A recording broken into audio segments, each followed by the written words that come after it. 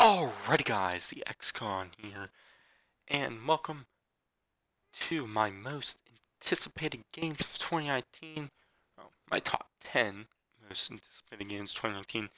There's uh, several other games I'll be mentioning, but uh, yeah, uh, usually I do my top games of, you know, the year list before I do my most anticipated games, but uh, I haven't beaten Red Dead Redemption 2 yet, and that's, you know, just want to at least either get farther into it, or, you know, try to beat it before I do that, so I can give it a clear, you know, if it's number one spot, number two spot, or even farther up the list, but anyways, you know, that'll probably be coming in a couple of weeks, uh, that's, depending, but, um, yeah, but now I'm talking about games that are coming out in 2019, or at least might come out in 2019. I usually want to do these lists, it's, you know, gets delayed and then doesn't come out, and then, you know, that's on the list the next year, like Red Dead Redemption 2. Yeah, uh, a couple of the games were on the list this year were on the list last year. Um, not as many as could have been, but there was some. Uh, surprisingly, I, I would say a bit of the games were actually announced in 2018. Um, so yeah, you know, I'm just getting into some other mentions real quick. Um, in no certain order, some other games what are supposed to come out this year when I'm interested in. Uh, so there's Gears of War 5. Uh, you know, if it, if Gears of War 4 was better, uh, Gears of War 5 would actually probably make the top 10, but Gears of War 4 wasn't my favorite game, and I'm not that excited for Gears of War 5 as you know I was Gears of War 4 so it gets knocked up a little bit. Um, also Gears of War Tactics or Gears Tactics whatever it is you know XCOM uh, kind of Gears of War game. Might come out this year. I don't know if it's actually coming out this year be honest I'm probably actually more excited for that than Gears of War 5 um, so there is that. Um, then there's Wolfenstein Young Blood, which continues the current Wolfenstein series. Interested in that. I need to catch up on those Wolfenstein games, so know, that sort of thing. If I was actually played all of them, then maybe I'd be higher up. But um, yeah, and then Crash Team Racing Nitro Fueled. Just a remaster of Crash Team Racing, the original one. So yeah, that that's probably my least anticipated there. Um, and Animal Crossing, uh, whatever it's gonna be called, uh, on the Switch. Excited for that one there. Um, then some Ubisoft games, uh, Skull and Bones, I believe that actually made the top 10 list last year, but, uh, this year, definitely, uh, went up a little bit. Then, um, Trials Rising, interested in that one. Probably won't be a day one buy, but I'll, I'll probably eventually get around to it. Then, um, Far Cry New Dawn. Always interested in the Far Cry games. I haven't played 5 yet, so, um, you know, and this is kind of like a sequel to 5, so,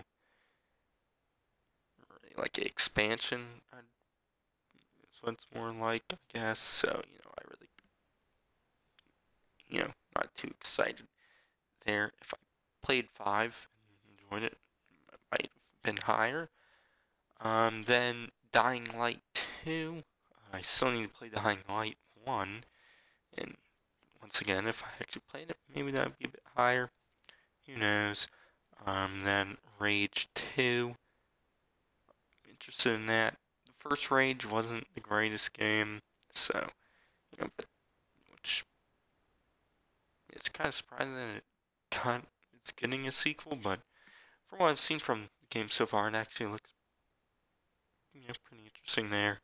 And then, um, out of all of these, the one I'd probably say I'm most anticipating, Ghost of Tsushima, I believe is how you pronounce it, which is a uh, like samurai game from uh, Sucker Punch, the developers of the infamous titles, which you know are some pretty good games there. So I'm interested in that. Reminds me with Infamous. Um, I don't know why Sony hasn't ported over Infamous 1 and 2 to PlayStation 4. Um, I'd really like ported those games over. Uh, please, and yeah. Um, anyways, that's it there. Um, also, I guess some other games I'll mention real quick. What I don't think come out this year, but I'm definitely anticipating them. Uh, they're probably not coming out, but uh, and one that probably isn't actually ever coming out, sadly. But uh, you know, there's Starfield from uh, Bethesda Game Studios. It's their like new IP with sci-fi. Yeah, interested in that. I you know, quite enjoy sci-fi, so yeah. Then number two, Halo Infinite, which is a new Halo game. Excited for that one. And then uh, Death Stranding, Hideo Kojima's new game. Uh, seems interesting. Not really sure what it's about, so yeah, and I probably will say it's not coming out. And then um, a game which, if it actually was going to come out, it would have made the top 10, possibly even top 3, but uh, it's kinda canceled right now. That'll be The Wolf Among Us Season 2. I'm hoping to God a company picks it up, like, um, happened for The Walking Dead final season. So that's a little bit different because it was, you know, actually from the uh, Walking Dead creators studio, so yeah, um, you know, I, I really hope a company picks the game up because the first Wolf Among Us is a incredible game. You, sh you should go play it. Um, and you know, if sadly Telltale being defunct, I might never have ever get to see The Wolf Among Us Season 2. Which is, uh, quite a big bummer. Um, so yeah, anyways, let's jump into my actual most anticipated top 10 list of 2019. We're already like 8 minutes into the fucking video. so that's right there. But coming in at number 10, that's going to be Luigi's Mansion 3 which is a sequel to the Luigi Mansion game that came out on the 3DS, and actually a sequel to the incredible GameCube game Luigi's Mansion.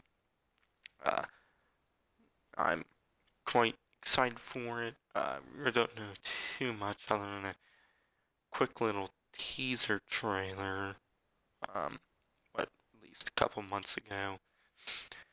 So yeah, I'm excited for that. I really enjoyed Luigi's Mansion back, you know, when that came out on the GameCube. Never played the uh, one on DS or the 3DS. I might give it a go. Uh, maybe. Yeah, I don't know. But, um, yeah, moving on to number nine. That's going to be The Outer Worlds, which is a game from um, Obsidian, right? Obsidian. Let me double check that. I want to say it's Obsidian. Uh, who you know created Fallout New Vegas and whatnot. Yeah, it's Obsidian.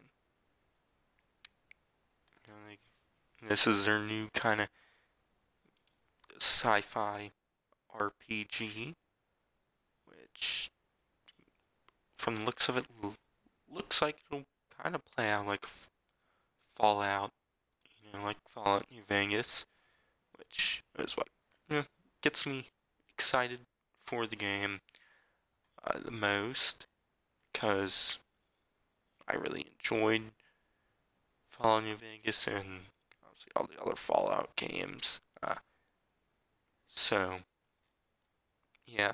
Um, yeah, it definitely does look interesting. Uh, really not too much on it from uh, I've seen. The only thing I saw was the uh, trailer at the Game Awards. So, yeah.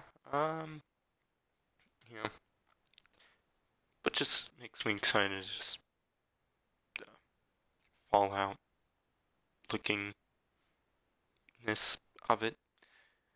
And it's, it's like sci-fi which I really enjoy so yeah anyways moving on to number 8 that's gonna be Doom Eternal which is the sequel to the 2016 game Doom 2016 so yeah uh, so far what I've seen that looks great. Haven't gotten around to playing the Doom 2016 yet, so you know. But there's also another game where I haven't played the previous titles of it, which I'm still excited for. So yeah, but you know, it looks interesting. It's just fun to me. The Doom games are fun.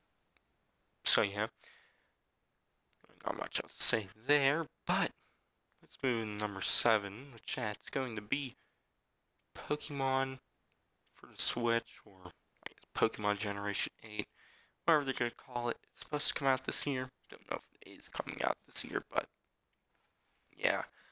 Um,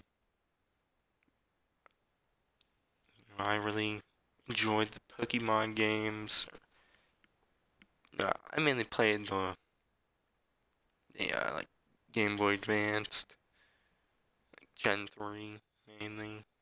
Gets a little bit of Gen 4 games. Uh, obviously, I have played Gen 1 and Gen 2. I really haven't I think I've touched like Gen 5 and 7 at all. I did play through the um Pokemon Y, Gen, Gen 6. Uh, you know, now on the Switch, they can do, you know, big things now. Just thinking, like, um, Mario Odyssey or, uh, Breath of the Wild, but for Pokemon, can be a real winner there and possibly a game of the year. Um, depending on what the rest of these next six games, if these next six games either come out and are stinkers or don't come out at all, then it'll probably be like Pokemon, probably be Game Year. If it lives up to what I am imagining. Um, obviously, there really isn't much, but, you know, I kind of hope it's, uh, more open Pokemon game and not a uh, you know, linear one like all the other ones. Uh, just you know, like open world Pokemon like Breath of the Wild, where has a you know lots of adventuring. You know, and it's Pokemon that's some that you know, like I said, it could be game of the year worthy. Uh, definitely for anyone who uh, played and enjoyed a Pokemon game. Um, so yeah, if that game lives up to my expectations right now, it's kind of me just saying what I want it to be because we really don't have much info on it. Um, you know, it could be an entirely different type of game. But um, let's move into the number six spot, which was on the list last year. In fact, it might have been the same exact spot. Metro Exodus comes out in a couple of weeks, and I'm excited to play it. I still need to go through and beat 2033 and then Last Light, so probably won't be playing it on launch, but you know, definitely be probably playing it soon. But um, you know, I'm really interested in it. The Metro franchise has, you know, been one like a game series that's been on my radar for a long time now, and I just finally getting around to it. Uh, to be honest, like I think I purchased the whatever 2033 and Last Light like like 2015, 2016. I've I've owned the games for a long ass fucking time, and I'm finally now just getting around to them. Uh, you know, and then I'll play Exodus when that once I eventually beat Last Light. Um, so yeah, I find to be very interesting concept. So yeah. Um, anyways, let's move into number five spot. I, I probably talked about Metro already last year, definitely, but uh, yeah. Anyways, number five. This game's already out. I already bought it and I can already play it. It's haven't started yet, but that is Resident Evil 2 remake. So yeah, um, been a I would say huge fan of the Resident Evil franchise. I, I guess fan, or I guess I guess I consider myself more casual towards it. I definitely haven't played the completion all of them. I've at least like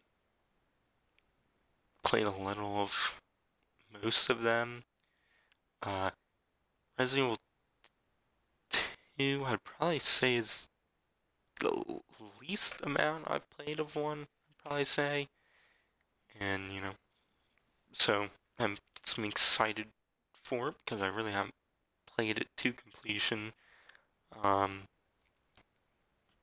so yeah, it's, you know, quite exciting there, and because, you know, the Resident Evil games, the first three are good games, but not super playable nowadays. But uh, the controls are just a bit too, uh, you know, odd. You know, you go from a game what you know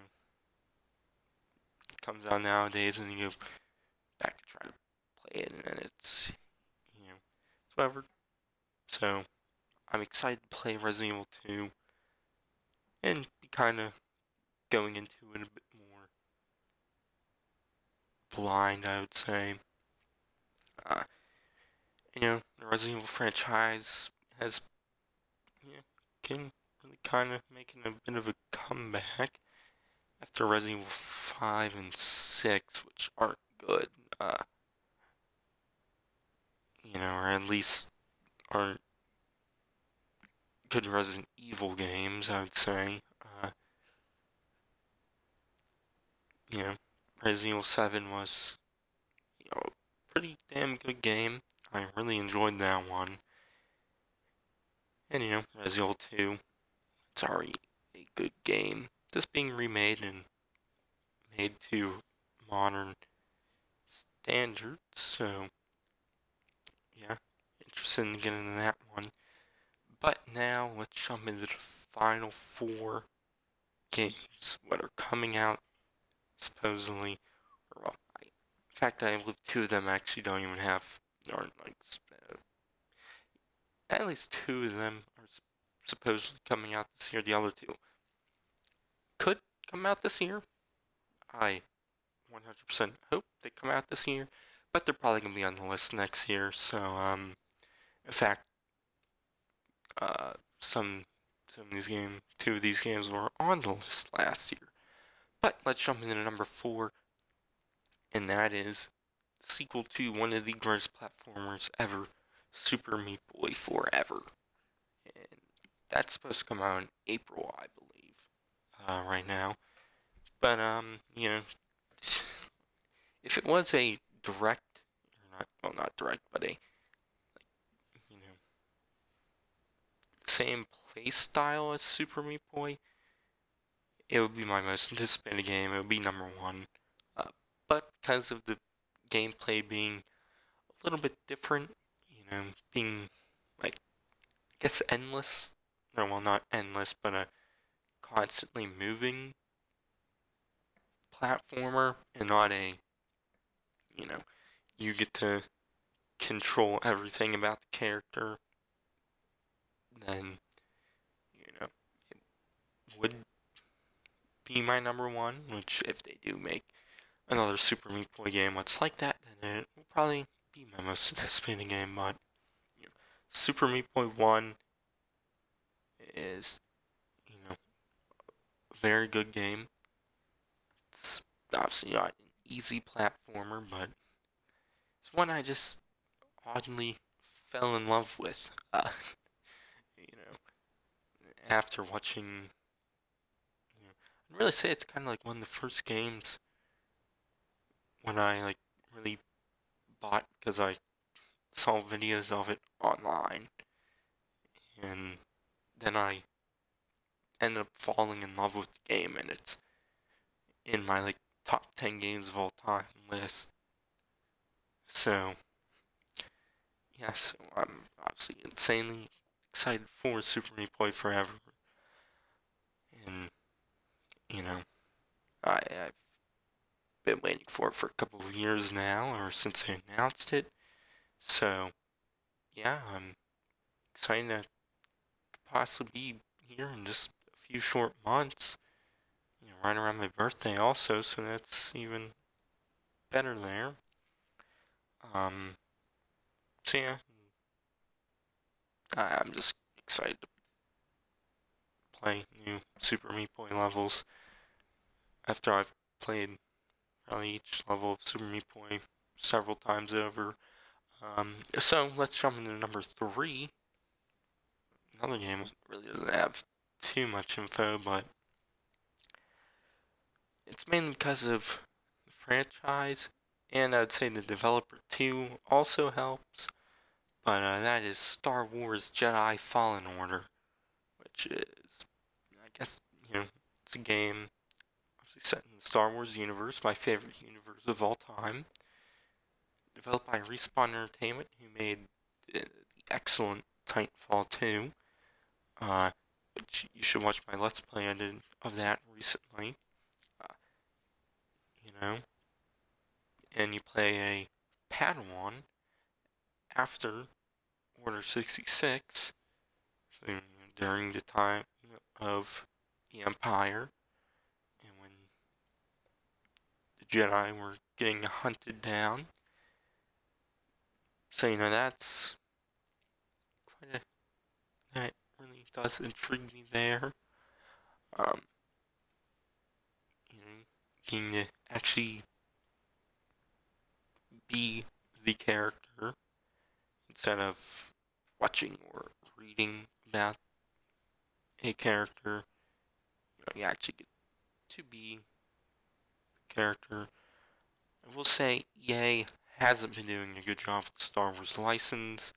Uh, Battlefront 2015 was quite yucky. Uh, Battlefront 2 was better game with an, one of the worst progression systems to ever come out in a video game and some of the worst microtransactions to ever come out in a video game. And one of the worst business decisions to ever come from a video game for what's sixty dollars. Uh, and the story was kind of whatever. So, and this game, from what it seems like, is a story first game. I wouldn't be surprised if they put in a multiplayer mode, but uh, definitely seems like it's story first. I could be wrong because we don't have too many details on it, but yeah, I'm just excited. I'm hoping that uh, EA can put out some more Star Wars games. Uh, have had the license for almost six years now, and they've put out two mediocre games. Uh, so, yeah, I'll continue playing Battlefront 2 for the free updates, but, you know, I, I hope Fallen Order's good and I'm excited for it, as it's obvious. So I put it at number three spot here. Um, and you know, EA, you know, they're just quite a poo-poo company, but yeah, anyways, let's move to number two. Same as last year, The Last of Us Part 2. Uh, the Last of Us is easily one of my favorite games of 2010s. Uh, Game of the Year 2013, and you know, sequel to my favorite game of the 2010, or one of my favorite games of the 2010s. Not my favorite game of the 2010s, but you know, I'm just excited to see the characters of Ellie and Joel go, and you know, and new characters what get introduced and maybe some old characters returning also. Eh, I hope it comes out this year. I wouldn't be surprised if it doesn't, but yeah, um, yeah. I, I really enjoyed The Last of Us. I will say with Last of Us Part 2, hopefully there's some better, you know, gameplay improvements over The Last of Us. Uh, you know, and obviously, an improvement of story. Obviously, that's not saying it's the Last of Us story is bad because it's an excellent story. Just hoping it's even better, I guess would be the better term there. Uh, so yeah, I'm excited for that one. Uh, and, you know, Naughty Dog, definitely one of my top developers, you know, the Uncharted franchise and whatnot, so... Yeah, anyways, let's move into my most anticipated game of 2019. It probably won't come out in 2019, but that is Cyberpunk 2077 from the developer CD Projekt Red, who did The Witcher 3 Wild Hunt, which is my favorite game of the 2010s. It's that it's an excellent title. You can watch my Let's Play. Um, so yeah, in Cyberpunk 2077, it's cyberpunk game. That's the genre, and it's also the name. Uh, I guess Blade Runner would be a uh, thing what you could think when you see it. That's the best example. Obviously, different, but yeah, you know, just another RPG esque game from them. I really enjoyed The Witcher 3. I, it's one of my favorite games of all time. Uh, probably top three. I really really enjoyed it. Um, yeah, and the gameplay demo was released a few months back. Uh, it's fucking excellent for Cyberpunk 2077. You know, I'm just, you know, really excited to go into that world and what could possibly be one of the greatest games of all time, or one of the biggest upsets of all time, or something that's pretty good but not as good as Witcher 3, or something that's pretty good, a little bit better than Witcher 3, but not the greatest game of all time. You understand? All these games, one of these games could be Game of the Year, which could fall in my honorable mentions. Who knows, or a game that's not even on the list could be my Game of the Year, or Cyberpunk 2077 could be my Game of the Year, which, if it comes out this year and you know, lives up to that expectation, that excitement I have for it, then it's going to be Game of the Year for me. But, um, yeah, uh, this video went on way too fucking long. I did not want it to go on this long.